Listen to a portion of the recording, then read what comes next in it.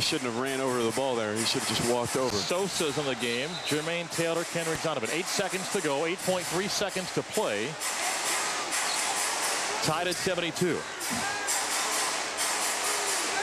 Worst case scenario is overtime. That should be the worst case scenario. Inbound to Rompza. He's got to go. Six go. seconds, five seconds, four seconds, three seconds. Rompza floats it up. It rolls in with a tenth of a second to go. Oh, Ball game over. A.J. Rompza wins it. Holy smoke, 74-72. The Wounded Knight with the game winner. Holy cow. Oh my gosh, unbelievable. Don't, they're tackling him. Don't sprain his ankle again. Don't sprain his ankle. Unbelievable. Wow! A.J.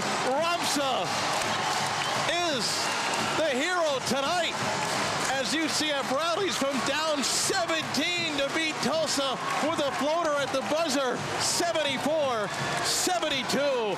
A must-win for Kirk Speraw's team. What a comeback. And we'll come back with a post-game show in a moment. Final score, UCF 74, Tulsa 72. This is UCF basketball on the UCF IS